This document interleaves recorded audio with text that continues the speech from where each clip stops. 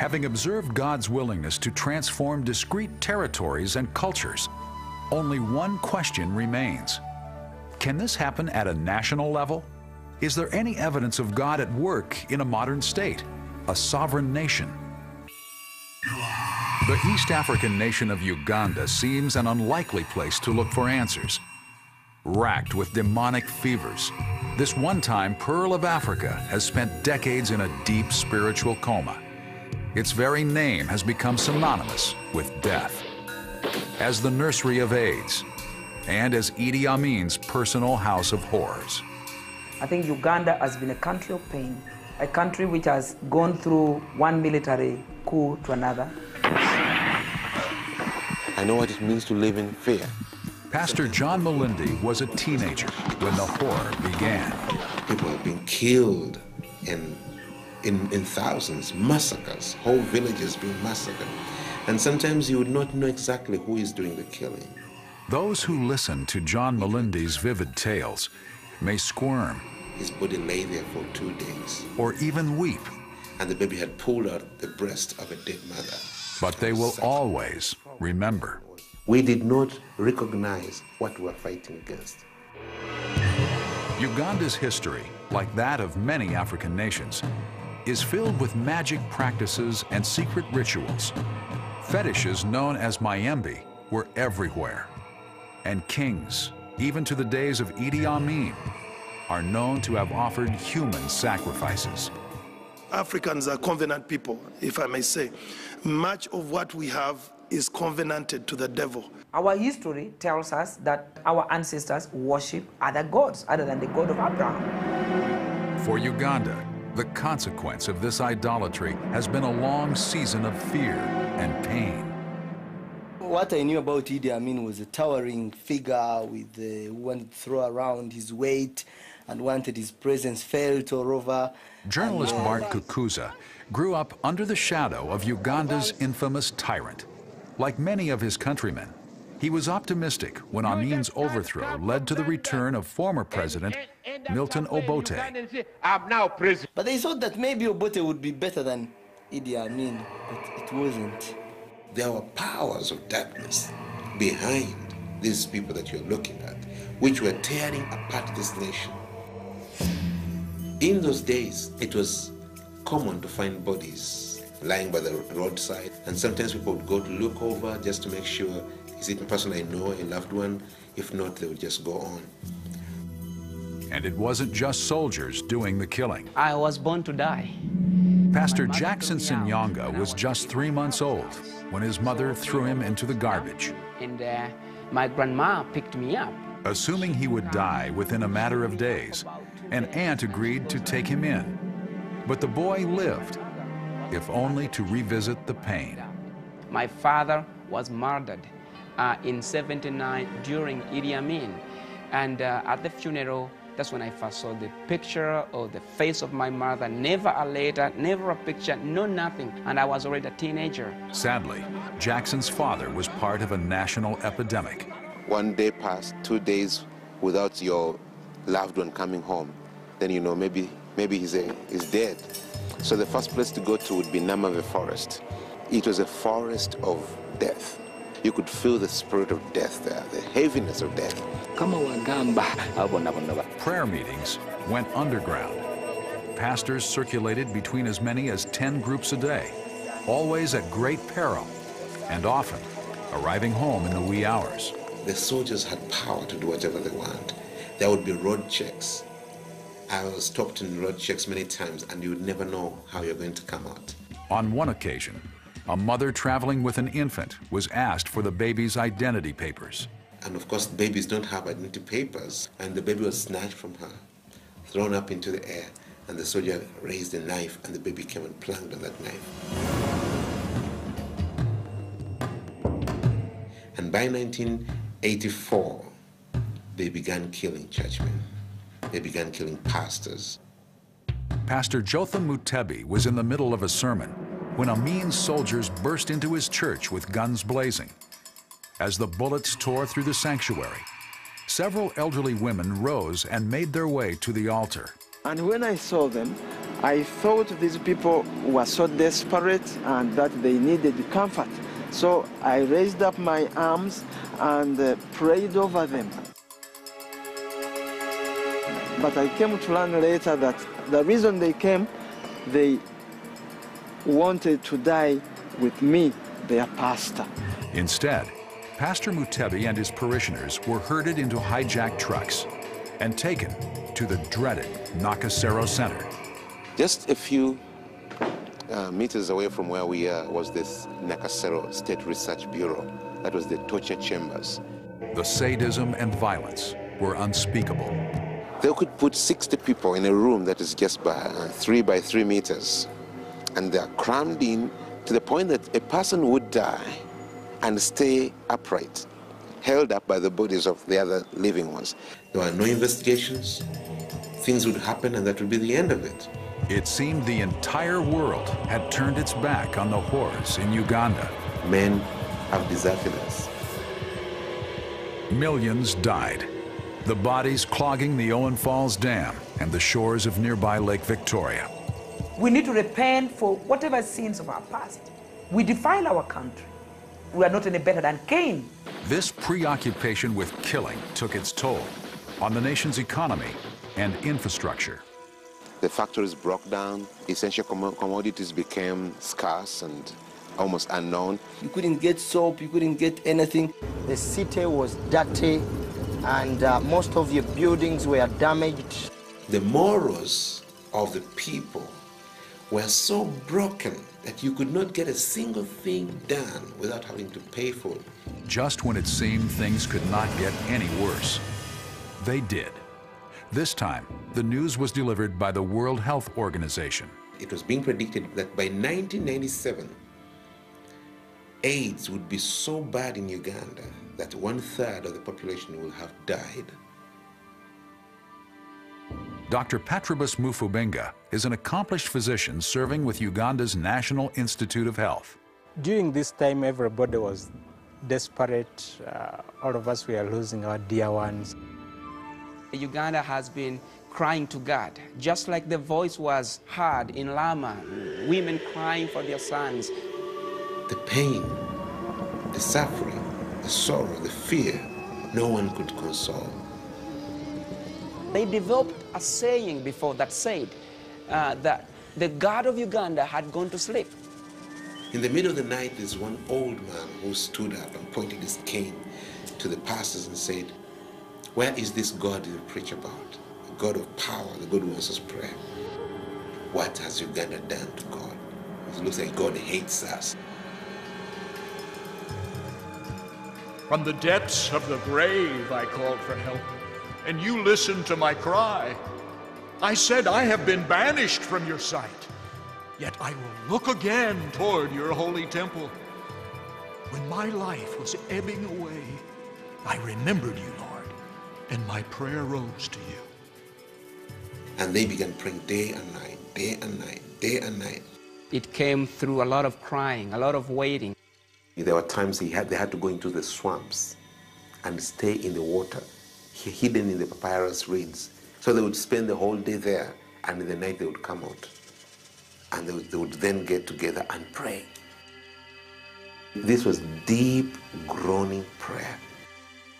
I am the man who has seen affliction. My eyes will flow unceasingly without relief until the Lord looks down from heaven and sees. I would choose to seek God until He answers prayer. If He's not going to answer, then I would rather die seeking Him.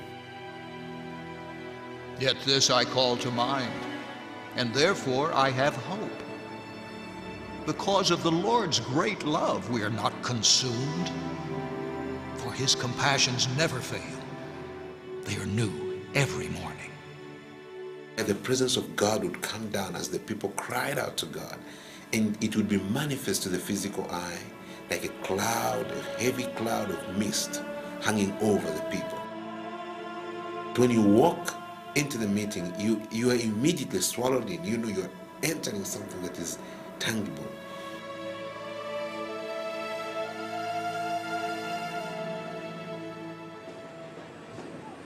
15 years ago, this was one of the most dangerous places in all of Uganda.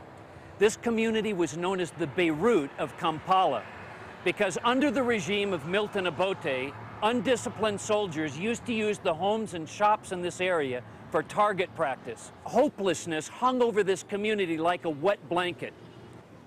It was into this place that God led a young Ugandan evangelist by the name of Robert Kayanja. He was accompanied by six intercessors.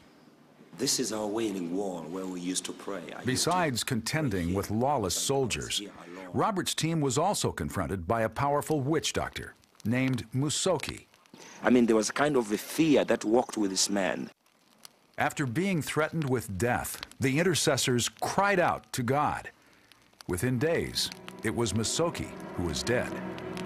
After the death of this uh, famous witch, Musoke, we begin to see the heavens open. Kayanja's tiny congregation became a vast multitude.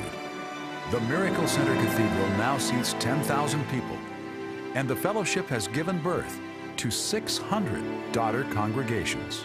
Uganda, which had been written off by many, many countries, whose economy had totally collapsed, which had no voice at all, and whose people were ashamed of being called Ugandans, began making a turnaround. And the healing process began. Not surprisingly, it is a change fueled by prayer. So churches began to pray in zones. It's like bees. You can hear bees through the night. Every community praying, every zone praying. And I felt like, you know what? The enemy must find another city, but not Kampala. Unity is another hallmark of the present revival. The work that God has been doing in this land cannot be claimed by any individual or any church or any ministry. Citywide pastors' gatherings are common. God is calling us now together to pray together, to praise together. It is really happening that God is bringing churches together. To talk to each other, to appreciate one another. What I'm trying to do is to go with those people who love Jesus, who preach the Word of God. Sometimes you find me in Pentecostal churches. I do go there. The body of Christ is coming together. I am overwhelmed. The revival we are involved in now is for everybody. And unity is not something we're praying for, but something we are thanking God for. Even the dire World Health Organization report on AIDS did not shake the believers' confidence in God. We have seen the AIDS virus healed, and the doctors go, wow, I can't explain this, but there must be a God up there somewhere.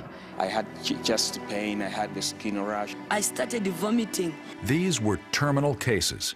I lost the appetite. I couldn't eat. People with full-blown AIDS. I grew very, very thin as a pole. After being prayed for, many sensed God's touch. That there is something changing that at that very moment. That very night, the power of God came down. And I felt it. Not surprisingly, these self-proclaimed healings elicited serious skepticism from medical caregivers. Why have you bothered yourself to come here?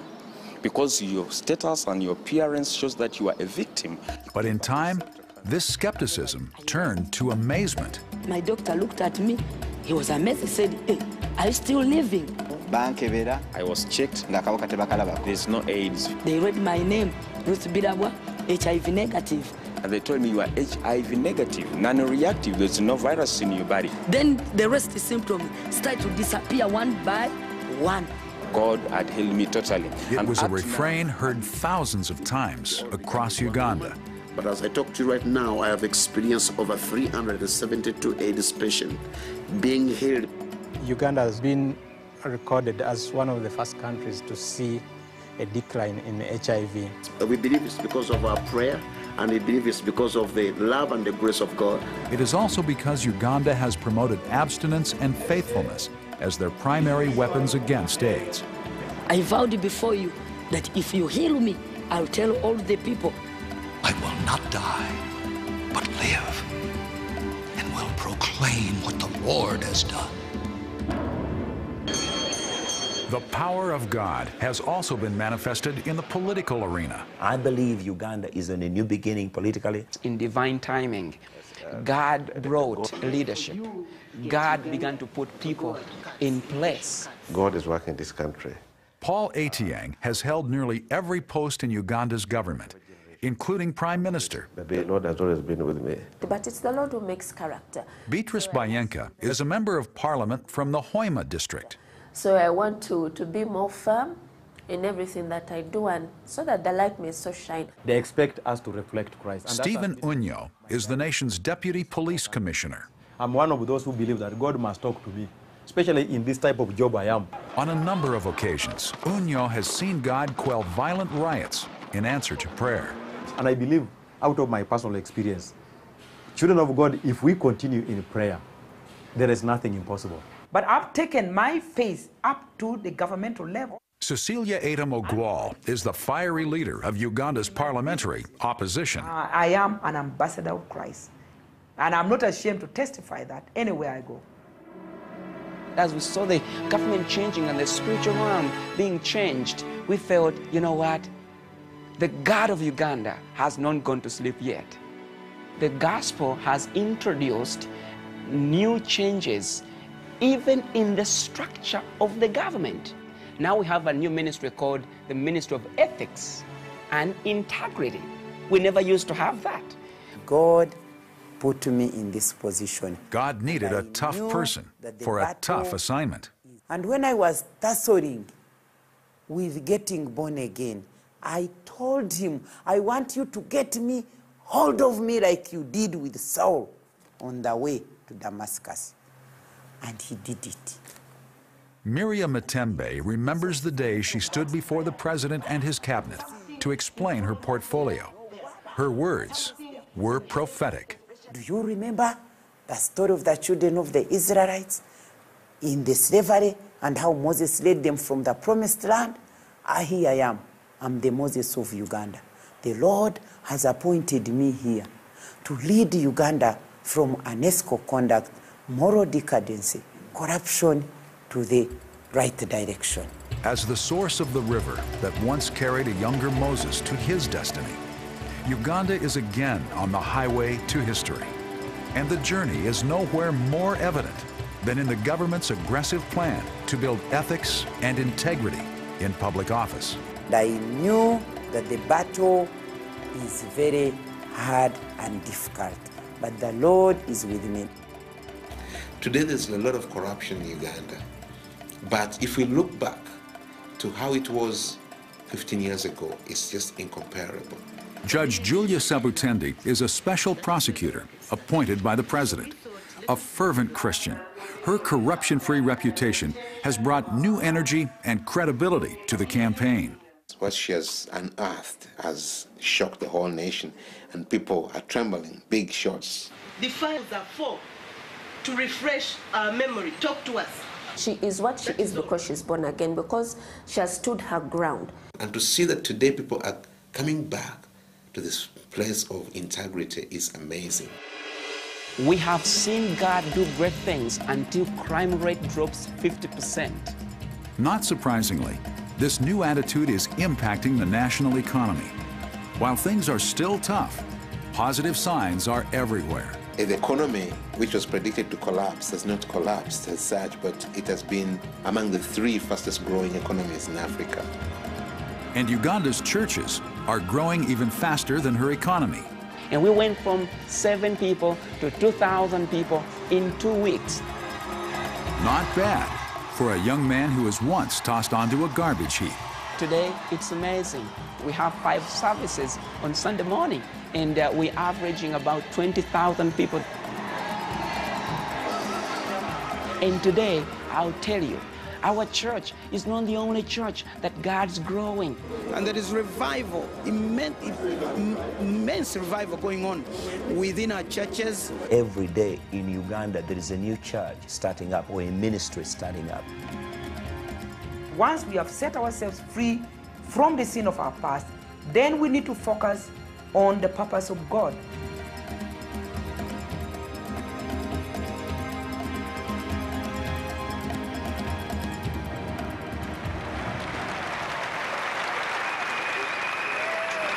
On New Year's Eve 1999, Uganda joined the rest of the world in celebrating the arrival of a new millennium.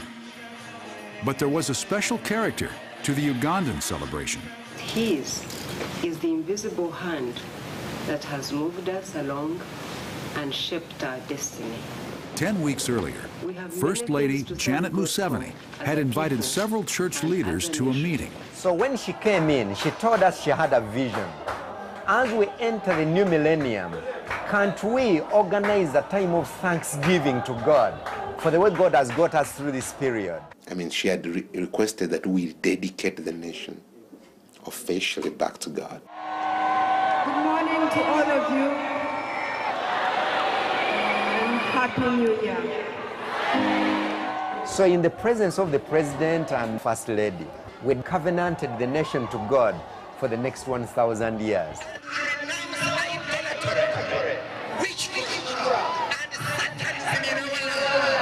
The covenant, which included the signatures of the President and First Lady, was remarkably explicit. We are conscious that we put other gods before you and worshipped them. It read like a passage out of the Old Testament. covenanting our nation Uganda to the purposes of God and to the Lordship of Jesus Christ. Amen.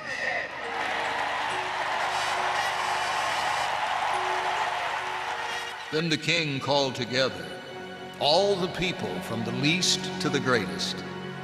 The king stood by the pillar and renewed the covenant in the presence of the Lord. From beginning to end. And it was just God. Get shame cover my face, oh Lord my God. Shame and reproach, Lord, cover my heart.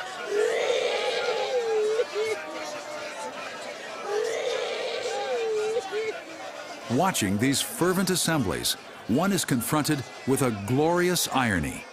Dictators once tried to destroy the nation's faith by preventing people from entering church buildings. Instead, the edicts and padlocks served only to remind believers that the church has nothing to do with buildings. When Uganda's faith was taken outdoors, into football stadiums, banks, hotels, even parliamentary offices, it flourished. Jesus is standing on the right hand, telling the Father, Father, I'm ready for Uganda. And Uganda, that was once used to be the pearl of Africa, was now about ready to shine again. It's amazing for people who lived at that time to see what is happening now. Life has come. It seems there is there's a new king reigning over the nation of Uganda. Uganda is ready for God as a nation.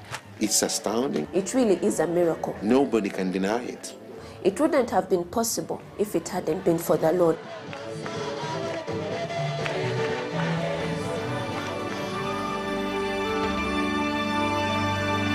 Make straight his path in the